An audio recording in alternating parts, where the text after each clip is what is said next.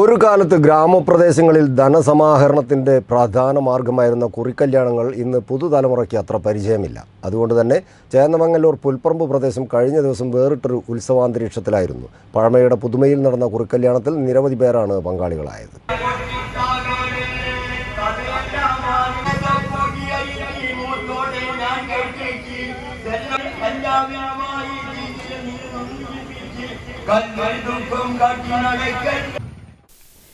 ചേന്നമംഗലൂർ പുൽപ്പറമ്പങ്ങാടി തിങ്കളാഴ്ച ഉച്ചതിരിഞ്ഞതോടെ വേറിട്ടൊരു ഉത്സവാന്തരീക്ഷത്തിലായിരുന്നു.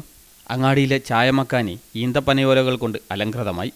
മൈക്ക് സെറ്റിലൂടെ പഴയ മാപ്പിളപ്പാട്ടുകളും നാടകഗാനങ്ങളും ഒഴുകി. ആളുകൾ കല്യാണത്തിലേക്കുള്ള വരവായി.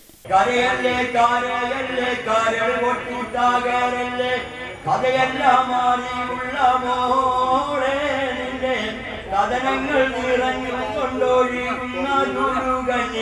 കാണുമ്പോൾ തളരുന്ന ഞാനേ വേരറ്റുപോയ കുറിക്കല്യാണത്തിന്റെ പുനരുജ്ജീവനമായിരുന്നു ഇവിടെ. ഒരു കാലത്ത് വട്ടിപ്പലിശക്കാരിൽ നിന്നടക്കം ജനങ്ങളെ മാറ്റി നിർത്തിയിരുന്നത് ഇത്തരത്തിൽ കുറിക്കല്യാണം നടത്തി ലഭിച്ചിരുന്ന വരുമാനമായിരുന്നു. നിരവധി വീടുകളിൽ കല്യാണവും കിണർ നിർമ്മാണവും വീട് നിർമ്മാണവുമെല്ലാം കുറിക്കല്യാണം നടത്തി ഭംഗിയായി നിർവഹിച്ചു പോന്നിരുന്നു. ചേന്നമംഗലൂർ മേഖലയിൽ കുറിക്കല്യാണങ്ങൾക്ക് നേതൃത്വം നൽകിയിരുന്ന സി ടി മൊയ്തീന്റെ അനുസ്മരണം കൂടിയായിരുന്നു പുൽപ്പറമ്പ് സ്നേഹവേദി ഒരുക്കിയ വേറിട്ട പരിപാടി. കുറിക്കല്യാണത്തിന് പതിവായി പണം വരവെഴുതാനിരിക്കുന്നത് മൊയ്തീനായിരുന്നു. എന്നാൽ മുപ്പത്തിയാറ് വർഷങ്ങൾക്ക് മുമ്പ് സി ടി മൊയ്തീനൊപ്പം നാട്ടിൽ നിന്ന് കുറിക്കല്യാണവും മറയുകയായിരുന്നു. ഈ കുറിക്കല്യാണത്തിൽ എന്ന് വെച്ചാൽ ഞങ്ങളൊക്കെ ചെറുപ്പകാലത്ത് ഞങ്ങളൊക്കെ പട്ടിണി മാറ്റാൻ തന്നെ ഈ കുറിക്കല്യാണം നടത്തിയത്. അതിൽ സി ടി മൊയ്തീനൊക്കെ അതിൽ ഭയങ്കര പങ്ക് വഹിച്ചിട്ടുണ്ട്. സി ടി മൊയ്തീനൊക്കെ അങ്ങനെ എഴുതുന്ന സമയത്ത് ഞാനും ബഷീറൊക്കെ ഇങ്ങനെ സഞ്ചിയായിട്ട് ഇങ്ങനെ പോകുമ്പോൾ വെന്നോളിയിടോ ചായ കുടിച്ചോളിയിടോ എന്ന് പറയും. അതന്നെ ഞങ്ങളെ ഭയങ്കര ഒരു പട്ടിണി മാറുന്ന ഒരു സംഗതി. പിന്നെ എന്റെ വാപ്പിയും വേണ്ട മരിച്ചുപോയ കുറേ ആൾക്കാരും ഈ ഒരു കുറുക്കല്യാണത്തോടെ ഞാൻ ആശ്രയിച്ച് ജീവിച്ചിരുന്നത്. കുറെ കെട്ടിക്കാനും കുട്ടികളെ കെട്ടിക്കാനും ഒക്കെ കുറുക്കല്യാണം തന്നെ ഈ ഇതിന് പോലെ ആശ്രയം. അങ്ങനെ കുറേ ആൾക്കാർ ഇപ്പോൾ മരിച്ചുപോയ കുറേ ആൾക്കാർ ബോർഡൊക്കെ ഞങ്ങളിവിടെ തൂക്കിയാണ്.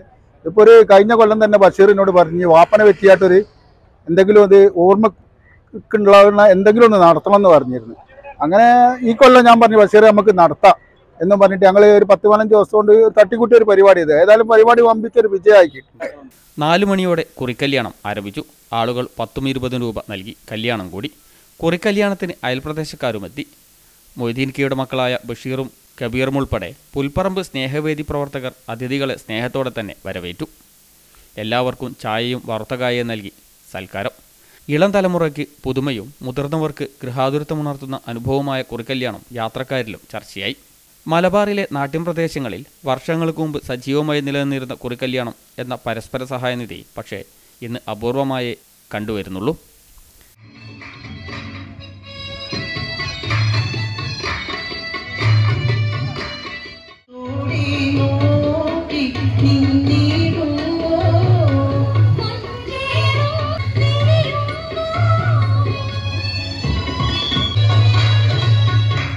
Cameraman G N ആസാദിനൊപ്പം C Fazal Babu C T V പ്രാദേശിക വാർത്ത.